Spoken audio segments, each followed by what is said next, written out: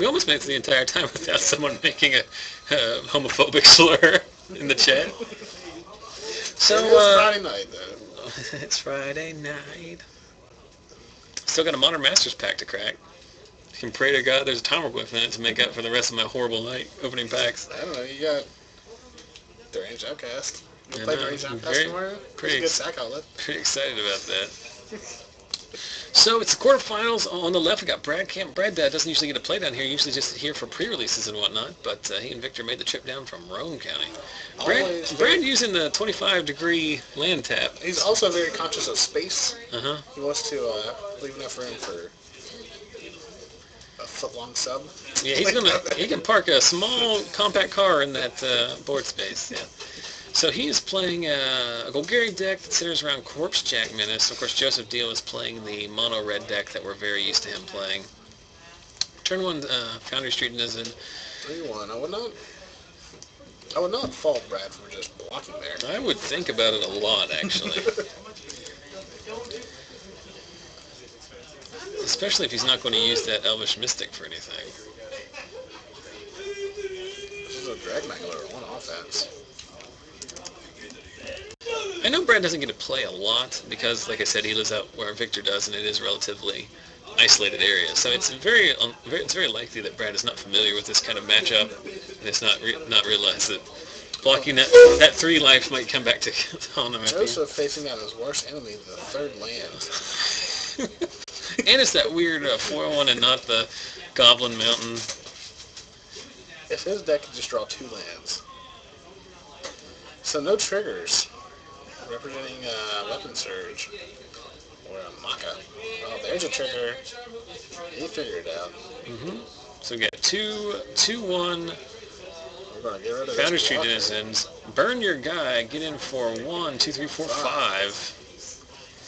Uh, Joseph probably going to win this one. Uh, is Brad playing uh, Thragtusks? Brad might have Golgari Charm on the board. Maybe.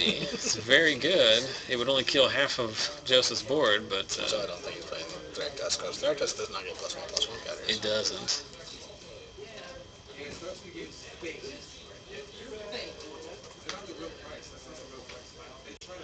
So there we see a Vampire Nighthawk, which is actually a pretty good spot to be in. And Brad does not give a crap. He's just he says, I'm. I'm only going to work. I'm only going to. Uh, three damage. He's Oh. got to he's got to do something. yeah. So the question is, does Joseph have Searing Spear? I know he only plays a couple of them. He can he can Rubblebelt Maka or something. land, Searing Spear, Dynacharge lethal. So you're just going to serve in here. Now, do you block the? I block the uh, board for that one. Yeah. Yeah. Just pray doesn't have Maka.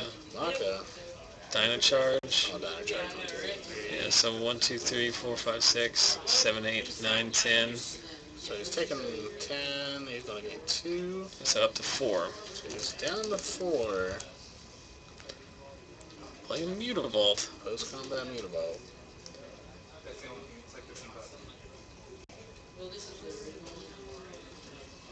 Joseph clarifying out there that this is the original one. Brad says, "Hey, you got Mutavault? Guess what? I do too. Now I lose." like, what can he what can he play here? He's facing down. If Joseph plays a red creature with the current board state, if Brad plays another blocker and Joseph plays a red creature, then Brad loses. Mhm. So Brad is dead to a red creature. Yeah, I think if he had a creature that he would have played it last turn. Right? He played the Nighthawk last turn. You're talking about Joseph? Joseph. No, I was talking about off the top. This time, uh, Brad's choosing to leave the boys back on defense, but a red creature wins the game, as does a burn spell, as does anything that's not land. Even Burning Earth puts it basically out of out of. Pump spell works here too. Well, I mean, you're not you're not you're going to suicide your guys anyway, so he's dead to a pillar if you draw it or something like that. Oh, that's not right. Go down to three. Searing Spear. He was dead no matter what. Yeah. That's the old slow rolls. What I'm gonna call that one. Joseph with the slowest of rolls.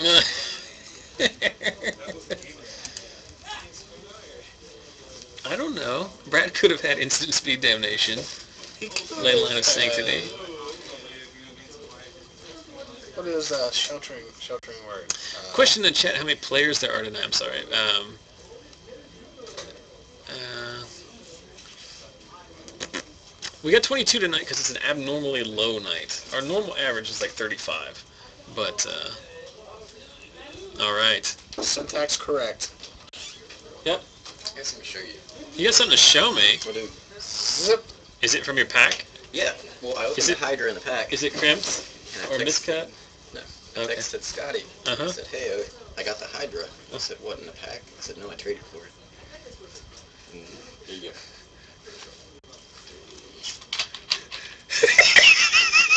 This is this is what I want to. First, I want to uh, archive this so that uh, Scotty can go back and watch it. It's very funny. So, a funny story as we as these guys sideboard. So Jonathan here, half of the Wright brother tandem. A classic story from amongst our play group is when we went to Star City, Cincinnati, and Jonathan sold to Bonfire the Dams For entry fee. for entry fee, but then made hundred dollars by finishing what like 16th in the tournament or something like that. 23rd. Okay. So he cashed. And then afterwards on the way home when we are eating at the Outback, he told his brother over text, yeah, I, I did this, but I sold to bonfires. And Scotty said, no, Jonathan, you didn't, with all exclamation points. And then, did you take his phone and just reply with hash, him. hashtag YOLO?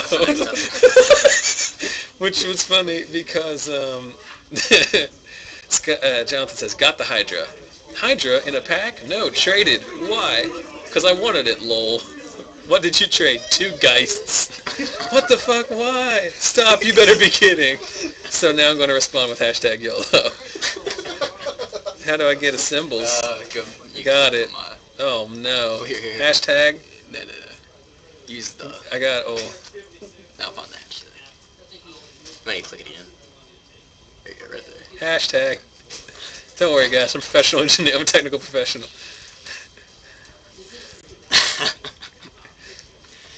oh I man. Think this is a. Would you say I want to build elves, or would you say I want to build elves? How would you say that if you were texting?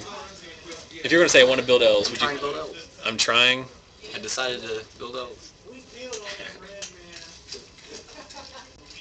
that no, say that elf deck. That'll get it. Look how cool this foil is, just from afar. Yeah, from the great train. I don't even know. It's, Looks really cool. I just noticed that's it. promo. This is more fun than anything we've done on the stream tonight. I apologize. This has not been one of the better streams we've ever had, but they can't all be miraculous.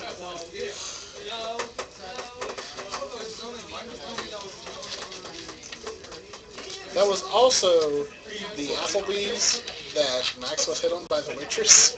So Applebee's or Outback? Outback. Oh no, that's a very legitimate thing. So Max Turner, like, we're leaving the Outback. We we walked in there, to be fair, with eight people five minutes before they were closed. Yes. I felt awful, but like I was also in, I was like starving, and then- but we did order a ton of food, and I left her a big tip. Yes. But on the way out, like Max is running behind because we don't like go to the restroom and stuff, and Max comes out later. He's like, yeah, so uh, just got propositioned. So basically, the waitress was like, so what are you guys doing now? It's like, oh, we're heading home. Oh, you're not staying in town? Oh no, and just You're like. not, you're not staying at the hotel? Yeah, it's like, oh, that's a shame. She was throwing it on him.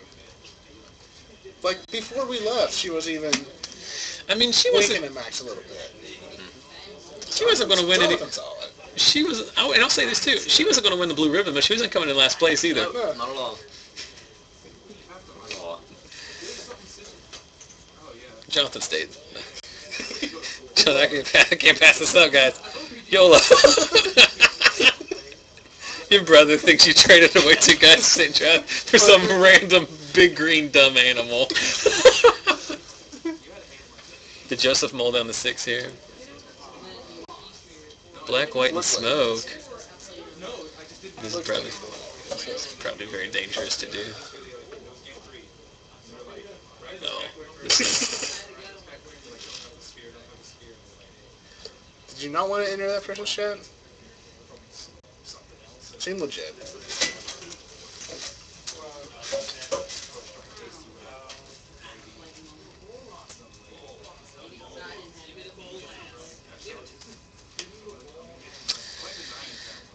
Right, so Joseph drew a mountain and then one drop, so he's good to go.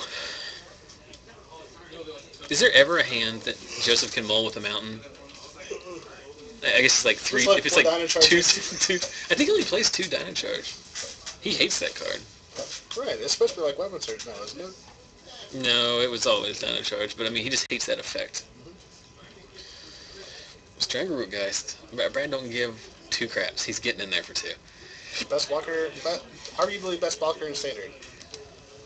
I think uh, we've talked about this before, but I think the best blocker in my entire cube is Porcelain Legionnaire, Yes. which is also the best aggressive creature in the cube. so play two guys, get in for three on Foundry Street Denizen. So basically the nut start from uh, from Joseph, both games, and even this game on a multi six on the draw. So Brad already facing down three creatures. I owe Scotty eight guys now. Huh? I owe Scotty a Geist now. That's just time he can trade Kalonian Hydra for two of them. What did he just put on there? Is that a Rancor on that thing? That's a very I'm gonna go there and look. No, no, no. It has to be because he dropped down to 14. But Brad has some very interesting card placement strategies. Mhm. First of all, no card will make it past the 33% mark from Right. left to right on the map. It cannot come across the line, which is the right hand. We're using the 30 to 40 degree angle tap for all permanents. Joseph going to say, get some, get in there. Joseph wins this race, right? Golgari Charm. Doom Blade. That's just as good.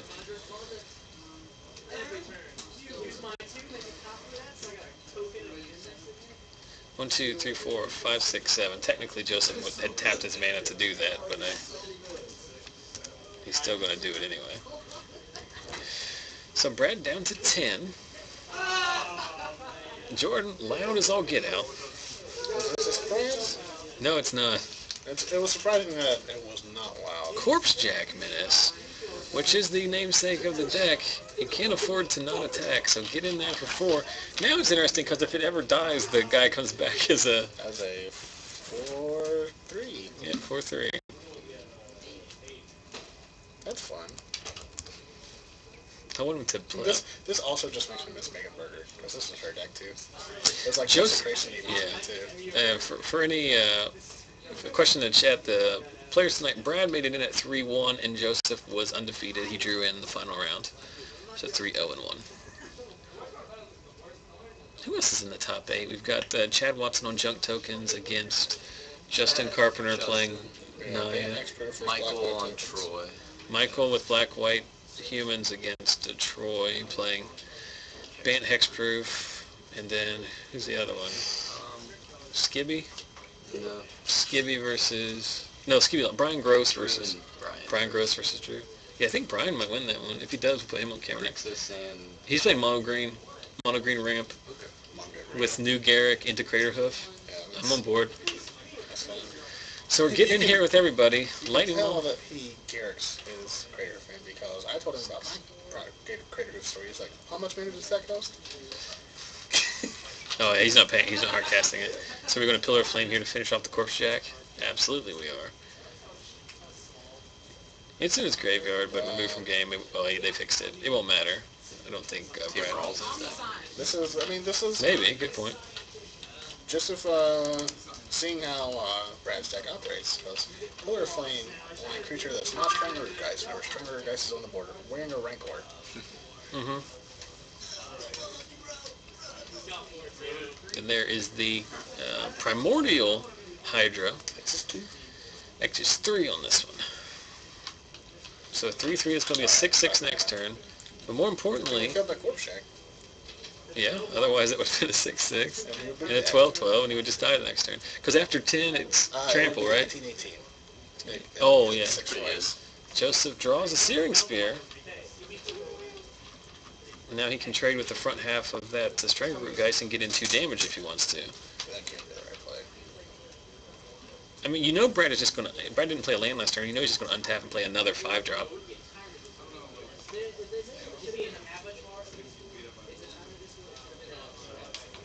What the? I, maybe he did. Maybe he did play land last turn. I just missed it. Another corpsejack. Brad's helping. Ooh, very aggressive here. Dropping Jordan to or um, Well, Jordan doesn't draw from me. Uh, Or Joseph. We both turn. called him Jordan. Uh, he can attack next turn and force blocks. hmm So what wins in the game here? Dynacharge does not. Searing Spear puts him at one. He'd need to go Lightning Mauler into another guy, and even that I don't think is good enough. Uh, some Burning Tree chain work. I'm sure if you had Burning Tree, though, you would have already played that. Burning Tree, Spear you. Uh, that might work. So you just attack here. If he attacks here, Joseph can just take it, though. No, Joseph's at six. Joseph's at 10. No, Joseph is at six. Did he not? They, they didn't adjust the totals. You actually adjusted it on your script. Oh. I'm better than they are. All right, so Brad, forgot about it. Brad, uh, sh- Brad shows him Putrefy, right, to take out one of the blockers, and then, uh, then we're good to go. Yep, Oh, wait, hold on. Brad did. Brad did. Getting there with his Corpsejack deck. There with the Scorp Shack Is it? deck. Huh? Is it the first game or the second game? Second game. Jo- Joseph won the missed the first first one one. probably before you got in here. Because you, there was two minutes between the time the round started and you coming in here, so Joseph had already won. Yeah. He did overload a Dynacharge for three creatures on turn three. Yes. That usually that usually results in you winning the game two turns later. Why is Jordan so loud? I do love how that the, the same number, daily the same kind of personalities that enjoy coming to the card store and playing Magic are the same kind of personalities that like as soon as like someone says something, like they just either consciously or subconsciously the volumes just start. It's like a feedback loop, you know. It's like you make a noise, and I gotta make a noise. Before you know it, I've lost my mind. you come tomorrow? Mm-hmm. Are you? I'm on that thing tomorrow. You are still. Yeah, I think. We, I think. Still, are you still borrowing stuff from John? Oh no, I'm not. That's. Or John, I, I gave up on that a long time. I think we're talking about if we can amass the cards, I might play some kind of omniscience. or- Why don't you play the elf deck? Huh? Why don't you play the elf deck? I don't have the elf deck. If there was just, the Hydra. if there was, I do need two guys though. Do you have any? If there was just like, if I could just come in tomorrow and there was just a table with every deck and standard just in a box, and I'd be like, hmm, pick this one. That would then I would maybe play something. But like, What would you pick? John. If I was gonna play like a real deck, I'd play John. Well, then why don't we just build John tonight? Because I don't have John. I have no cards. I have Voice of Resurgence. You need that? Between- You want to trade that for two guys? Brandon and I were talking about it. I think between the two of us, you're missing three Thractos. I, Uh-oh. Yeah, I don't want. I don't want you guys have to spend like all night putting together a It's, deck. it's right in my bag right it's right in my pants. and that's been. That'll be all for us tonight. Yeah, reach in there and grab it. Oh. You're Lord, welcome borrow the cards you were. I might. Play John tomorrow. Yeah. Do it for the team. Hey, so for those of you faithful viewers that waited till the end, uh, maybe I don't know if anyone cares because Dr. Butt Guy in the chat is just really dominating things and everyone's talking off board. I But I did. I would like to casually announce that I am currently in the process of discussing with uh, both uh, Tendra, who came up with our stream logo, and the folks over at Inked Playmats. And I think by the end of the month, you will be able to order stream stream themed playmats off their website. Then something they sent me in the mail. It's a little dice bag with my logo on it. See it? Yeah, It's awesome. it is neat. They just sent that to me. They're trying to um, roll that out as a new product for that you can get customized, and they just want some feedback on it. The inside is awesome. Yeah, it's a very high quality. Yeah. So we're back into uh, game three here with Joseph on the play. That's obviously a huge advantage for him in this situation. another Thunder Streak Denizen on turn one? Yeah. Jeez. We're gonna have two more one drops. We're gonna have Krenko's command here. Always got emissary. Uh, so Brad adds a Slitherhead on board. Now Slitherhead will get in front of the. Slitherhead is one to block. Yeah, he was. Baby, I was born to block. Thing I get the old also attack for one, though. get the boss in there. Burning Emissary into Rakdos Cackler. Rancor? Oh. Just block it. Oh, come on, Brad. What's that Slitherhead going to do? Just block something later? Might have a Rancor. Might have two Rancors. Then the races But on. you're not. No. Durst. Duress. If he gets a Diamond Whiff. Touch here, it's huge. Whiff. Like, he- is that a Mutavault? he only has, like, loyalist and fire He probably has eight non-creature spells in his deck. Right. Two spears, three pillar of flame, or four pillar of flame, two dynacharge. Yeah, eight. Yeah. I didn't. Uh, I don't agree with the bringing. Oh, no. dress. So so much for trading with uh, Yeah. Slitherhead because now Legion Loyalist is going to make that him. But if he had hit a down charge there, it would have been. Uh, Yeah, just block a two. One, two, three, four, five. He's still taking another one off of the trample, right? Oh, do they have trample? yes. They get first strike and trample. Legion Loyalist is a crappy card unless its effect is good. Just gonna put that out there. Well, but I mean, like, there's not a better one drop to be casting other than Stromkirk Noble, and even that has its drawbacks. And Rakdos Cackler's the best one drop in, in this archetype, I think. In this archetype, yes. In this archetype, like, I mean, stuck on two. like Young Wolf sees play in certain decks. Before combat, Cackler to trigger the Denizen, 9, and then Rubblebelt Maka 1, that's yeah. 12. 1, 2, 3, 4, 5, 6, 7, 8, 9, 10, 11, 12. It's 12 damage. A Doomblade would save him. A Doomblade on the uh, Makad guy. The, the hand. Victor's just... Victor's giving... Oh, he's talking about the duress. Victor's giving them grief for bringing in duress. Because that's what your buddy who just got rolled needs. is for you to give him grief. I'm angry about the decision you made.